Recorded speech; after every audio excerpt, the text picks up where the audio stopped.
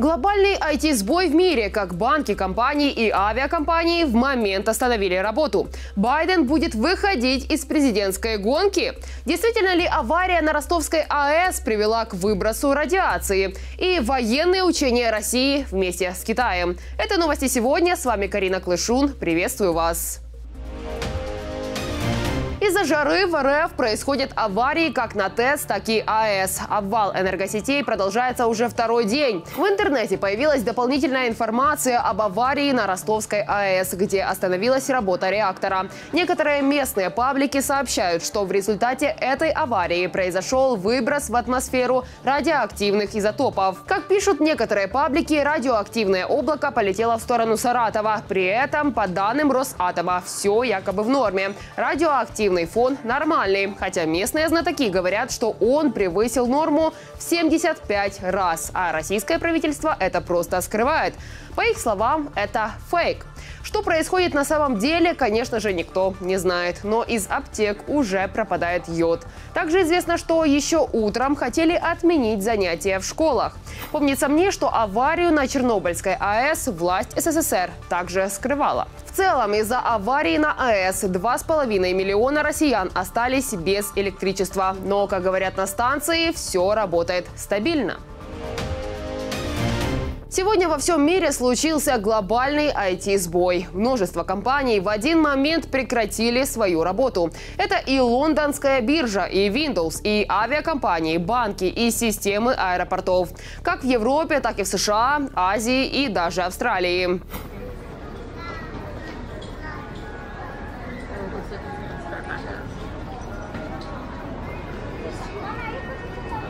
Зарубежные СМИ сообщают, что глобальный сбой может быть вызван конфликтом между антивирусом CrowdStrike и Windows в системе во время обновления программы. И пока специалисты ситуацию устраняют, люди не могут ни улететь, ни прилететь. Также не могут записаться к врачу и провести операции в банках. Некоторые телеканалы не могут транслировать передачи. Диснейленд попросил посетителей покупать билеты в кассах, а не через сайт. Но, как заявили в России, этот сбой их почти не задел, ведь Windows не предоставляет им лицензию, а авиакомпании работают в штатном режиме. Поэтому импортозамещение у них сразу же похвалили. Правда, решили не рассказывать, что из-за того же импортозамещения самолеты падают так же часто, как снег зимой. Демократы уговорили партию отложить официальное объявление Байдена кандидатом в президенты. Об этом сообщает Нью-Йорк Таймс. При этом потенциальные сменщики Байдена в президентской гонке набирают обороты в своей пока что потенциальной президентской гонке. Последние новости из США далее в нашем сюжете. Демократы ополчились против Байдена. Издания The New York Times и Washington Post сообщают о том, что лидеры демократов выступают против участия в выборах действующего президента и даже добились переноса официального объявления кандидата от Демократической партии. Джеффрис и Шумер в частном порядке предупредили Байдена, что он может поставить под угрозу демократов. Лидеры демократов на отдельных встречах на прошлой неделе предположили, что кандидатура Байдена может подорвать надежды партии и контроль над Палатой представителей и Сенатом. Давление на действующего президента США с каждым днем лишь усиливается. Возраст Джо Байдена – одна из болевых точек, на которую уже несколько лет активно давит Дональд Трамп и его последователи. Дебаты с Дональдом Трампом стали отправной точкой, после которой в президенте США засомневались уже и однопартийцы когда начали спонсоры замораживать счета, там около 90 миллионов, да, большие спонсоры. А, и вот, собственно говоря, вот эта дестабилизация изнутри демократической партии а, и произвела к тому, что рейтинг Байдена а, начал опускаться и опустился еще, собственно говоря, ниже, чем до этих дебатов. А пока в синем углу ринга секунданты сомневаются в собственном кандидате, в красном республиканском углу рейтинги жертвы покушения понеслись вверх. А после э, замаху, да, покушения на Трампа, э, конечно же, это абсолютно технологическая история, что э, рейтинг его вырос, пока непонятно насколько, я еще не видел реальных социологий экзит-полов, э, но как минимум э, на несколько пунктов 100% рейтинг вырос. В Демократической партии считают, что взлет Трампа и пике Байдена может повлиять не только на ход президентской гонки, но и на выборы в Конгресс. По мнению демократов, дальнейшее участие в гонке Байдена облегчит республиканской партии шансы на получение большинства в обеих палатах на выборах. Байден в ответ на критику союзников заявляет о том, что его выход из президентской гонки возможен лишь в том случае, если врачи обнаружат у него проблемы со здоровьем. И тут мы подходим к самому важному. Проблема ведь не только в президенте Байдене.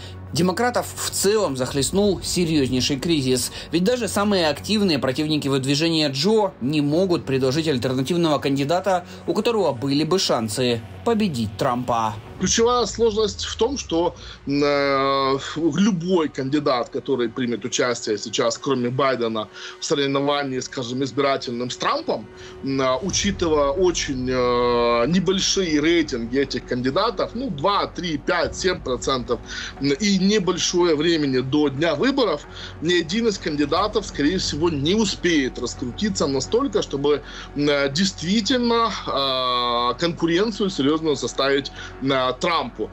Чуть ли не единственной альтернативой Байдену, которая под силу победить Трампа, американские журналисты называют бывшую первую леди США Мишель Обаму. Проблема в том, что Мишель на момент весны 2024 года заявляла о том, что она не желает выдвигаться в президенты. Один из влиятельнейших демократов, бывший президент Барак Обама, пока остается в тени. И по мнению многих, именно в его руках сосредоточены важнейшие рычаги, способные повлиять на президентскую гонку. Китай и Россия начали военно-морские учения с боевыми стрельбами в Южно-Китайском море. Об этом сообщает Reuters. Известно, что 15 июля суда вышли из военно-морского порта Джаньцань в провинции Гуандун на юге Китая. По данным СМИ, также в планах провести артиллерийские стрельбы. Детальнее в сюжете. Российская Федерация и Китай начали военно-морские учения с артиллерийскими стрельбами в Южно-Китайском море, сообщает Reuters. И все это после того, как НАТО назвали Пекин решающим фактором, который способствует войне в Украине. Мы также, также познали сигнал э, от всех членов НАТО и от Соединенных Штатов, э, который является основным э, и роли Китая в российской агрессии против Украины. Китайско-российские учения проходят после завершения отдельного совместного военно-морского патрулирования в северной части Тихого океана. В нем участвовал отряд кораблей Тихоокеанского флота России. Между тем, в Пекине подчеркивают, что совместное китайско-российское патрулирование способствовало углублению практического сотрудничества между двумя странами по многим направлениям и отраслям. По стандартам НАТО это даже не учение, это совместная э, совместная тренировка. По, по, это тренировка по совместному плаванию. Россия становится естественным партнером Китая в этом противостоянии, вот, демонстрируя таким образом, в том числе и этими учениями, э, свою сопричастность к процессам в Тихоокеанском регионе китайском порту состоялась церемония открытия китайско-российских военно-морских учений под названием «Морское сотрудничество-2024». Это стандартная установочная конференция перед учениями, большими или малыми, э, или совсем малыми, но такой церемониал является... Это церемониал. Это обычная процедура, на международных мероприятиях. Обе страны должны развернуть не менее трех кораблей, каждая для трехдневных учений. МВФ России и МВС Китая уже провели артиллерийские стрельбы в рамках совместных учений. Это отработка взаимодействия. И в современном море э, основной вид э, противостояния – это ракетное оружие.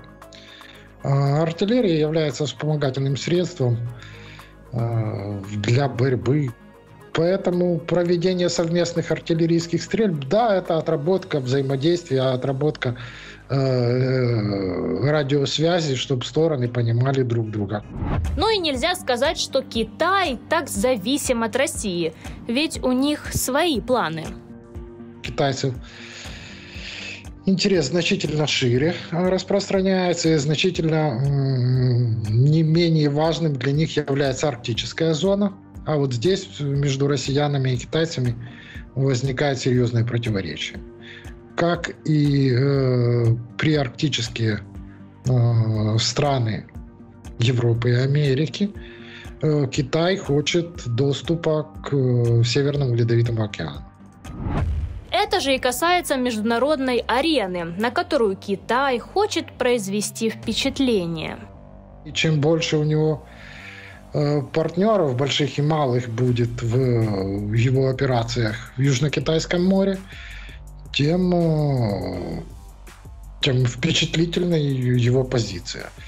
Когда Китай сам, это одно, когда к Китаю присоединяются одна или две страны еще, это уже международная э, деятельность и выглядит на международной арене совсем по-другому не Москвой единой. Чтобы не отставать от так называемых трендов, Беларусь также еще с 8 июля проводит военные учения с Китаем в непосредственной близости к белорусско-польской границе. Хоть бы не до президенты Путин и Лукашенко не подрались за тот Китай. Это учения, которые проводили Беларусь в присутствии э, китайских э, китайское подразделение приехало в Беларусь, и э, управление, э, управление учением были представители китайской стороны. Совместные учения проходили накануне саммита НАТО в Вашингтоне, посвященного 75-летию организации.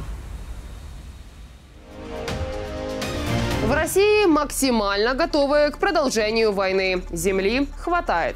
С начала полномасштабной войны в Украине госрасходы РФ на расширение кладбищ выросли втрое. Всего в России потратили около 125 миллионов за два года. Таким образом, за первых два года полномасштабной войны в Украине на расширение кладбищ потратили почти в три раза больше, чем за два ковидных года.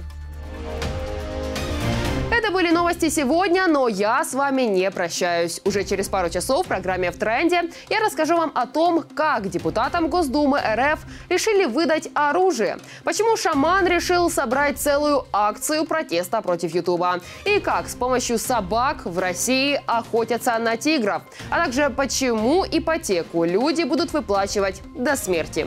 До встречи!